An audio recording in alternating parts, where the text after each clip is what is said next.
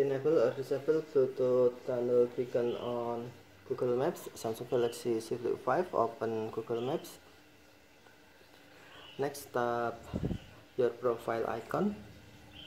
Select settings. And then scroll down settings screen.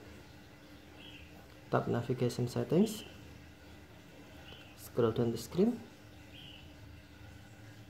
And then on Bluetooth tunnel beacon tap switch until Bluetooth enable or switch until gray to disable. Scan for Bluetooth tunnel beacon to improve location accuracy in tunnels.